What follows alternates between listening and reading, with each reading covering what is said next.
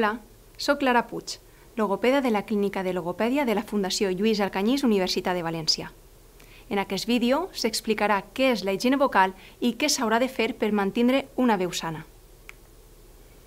Moltes de les disfonies que trobem durant la pràctica logopèdica estan relacionades amb un mal ús o abús de la veu, la qual cosa es tradueix en un augment en el contacte de les cordes vocals quan aquestes estan vibrant.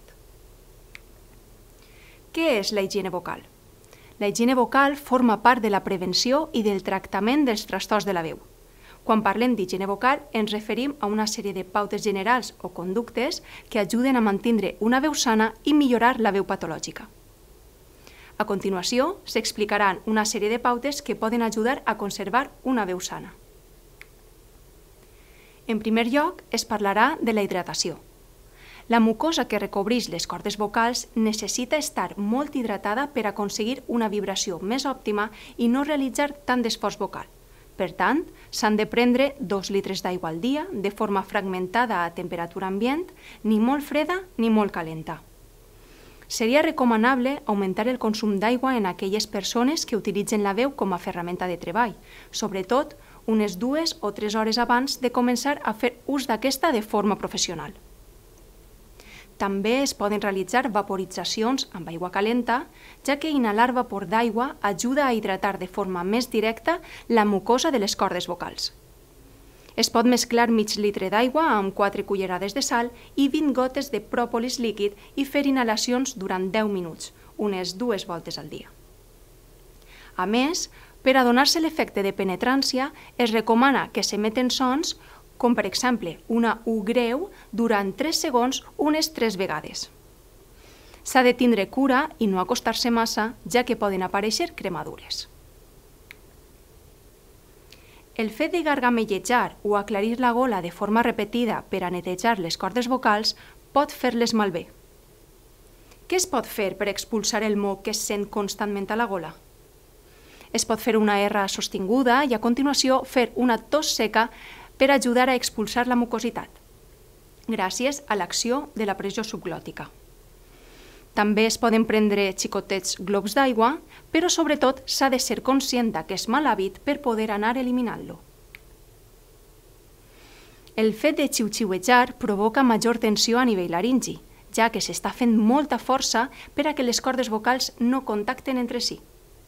En el cas de presentar un problema inflamatori de les cordes vocals, es recomana el repòs relatiu i no fer un ús abusiu de la veu. S'ha d'evitar el consum de tabac i altres substàncies irritatives, les quals afecten a la mucosa de les cordes vocals, agreujant així la salut vocal.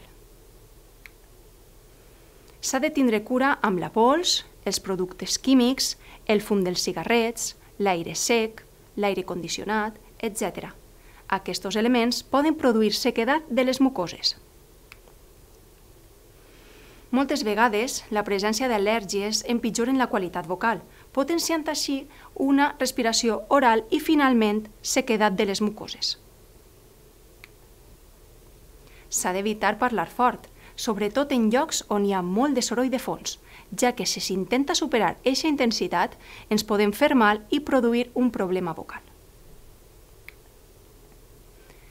S'ha de cuidar l'alimentació i intentar mantenir una dieta equilibrada, evitant menjars amb greix, picants, àcids, ja que poden arribar a perjudicar la veu per la irritació de la laringe a causa del reflux laringofaringi.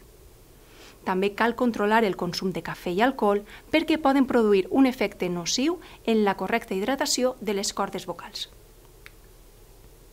Hi ha fàrmacs, com per exemple els diurètics, que poden arribar a deshidratar les cordes vocals.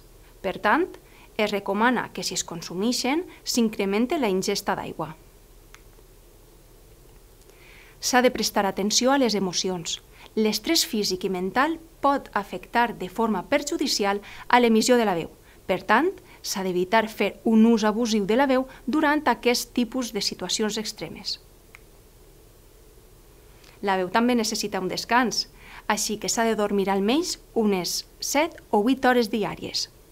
En situacions on s'utilitza la veu de forma continuada, també és recomanable fer uns xicotets períodes de repòs vocal. Es sap que l'ús de la mascareta atenua la intensitat de la veu, problema que s'incrementa quan hi ha soroll de fons. Impossibilita la visualització de l'articulació de la parla i de vegades produeix una incoordinació fonorespiratòria. També minva l'expressió facial, ja que bloqueja l'accés a trets facials molt importants per a la comunicació, com són els llavis, les dents i la llengua. L'ús de mascareta incrementa la percepció de símptomes vocals de desconfort, com per exemple esforç vocal, fatiga vocal, problemes en la retroalimentació auditiva i dificultats per coordinar la parla i la respiració, les quals poden comprometre a la intel·ligibilitat de la parla. Aquests símptomes són més freqüents en aquelles persones que utilitzen la seva veu com a ferramenta de treball, com per exemple els docents, i si s'estenen en el temps poden desencadenar en patologia vocal. Alguns consells per fer un bon ús de la veu amb la mascareta són els següents. Utilitzar un discurs clar, parlant un poc més lent i un poc més alt, però sense cridar ni augmentar de forma excessiva el volum de la veu. Utilitzar gestos juntament amb l'expressió verbal. Reduir les fonts de soroll de fons, sempre que siga possible utilitzar amplificadors, com per exemple un micròfon, assegurar-se de que l'interlocutor està pendent abans de començar a parlar, proporcionar referències visuals com presentacions de PowerPoint, imatges, per acompanyar la comunicació, assegurar-se de que l'interlocutor ha entès el missatge, afavorir una respiració nasal quan no s'està parlant, millorar la tècnica vocal i fer ús de les pautes d'higiene vocal.